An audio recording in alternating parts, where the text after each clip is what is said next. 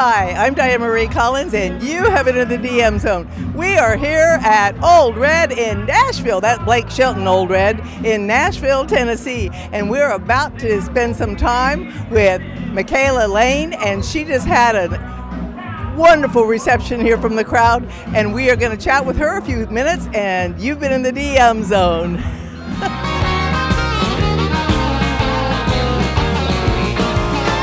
Hi, I'm Dianemarie Collins, and you have entered the DM zone, and I am here with Mikayla Lane, and we are here at Ole Red in Nashville, Tennessee. Yes. Welcome. Thank you so much. We're having a great time.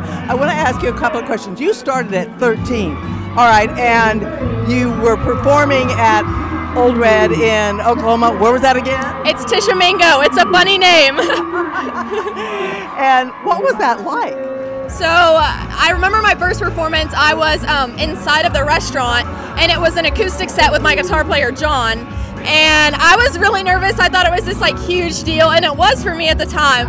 Um, and it was it was a blast. I was nervous at the beginning, but I mean it was a long set, so I warmed up, and then we just did it, and it was so much fun. Everyone there is so sweet. They're like family, the staff, and everything. So I love going there. I love it. Now, the other thing is that you have written and co-produced a lot of tunes. I have. and and one even out of your bedroom.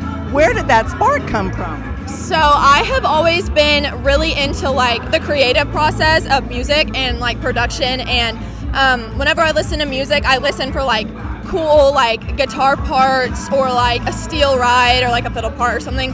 And um, yeah, that love kind of just turned into me wanting to have a big part in my music development.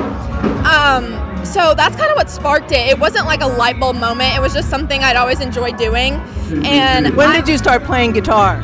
so I actually haven't been playing guitar long. I started when I was 14. Oh, old, old. I know, so old.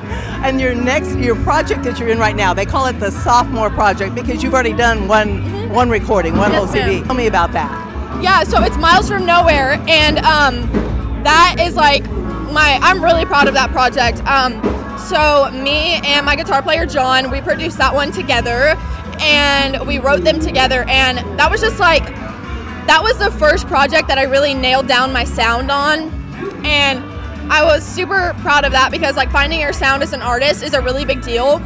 And I was kind of like floating into like what was trending, and that was more like pop country, and that wasn't really me. So whenever I figured out what my sound was with that um, with that project, it really helped me with direction for future projects and style and everything. Found your own. I did, I did. Oh, oh, that's so wonderful. It is. Well, you were just great tonight. I love listening thank to you. Thank you so much. Stay right there. Okay. And you have been in the DM zone. Come back soon.